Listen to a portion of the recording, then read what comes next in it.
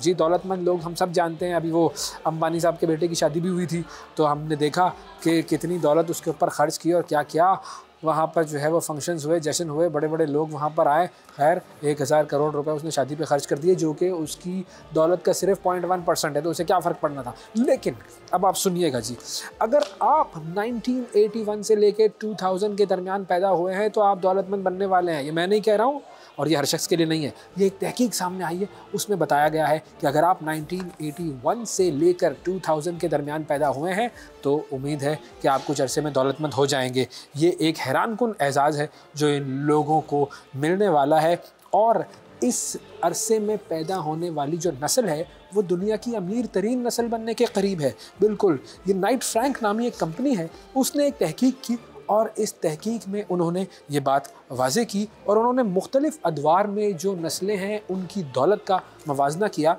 तो ये बात सामने आई है। इसकी डिटेल बताता हूँ मैं आपको।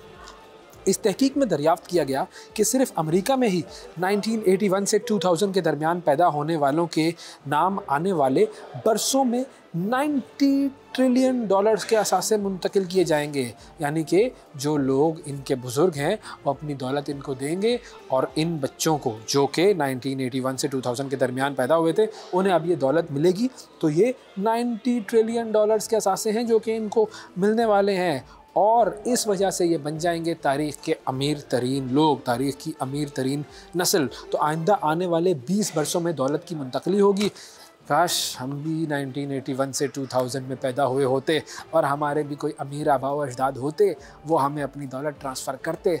तो यहाँ ना होते हम भाई, फिर हम कहीं और होते। लेकिन बहरहाल ये 1981 से 2000 में पैदा होने वाले लोगों के लिए ये ख़बर है कि वो दुनिया की अमीर तरीन नस्ल बनने वाले हैं और ये बेसिकली मिलीनियल्स कहलाते हैं ये लोग।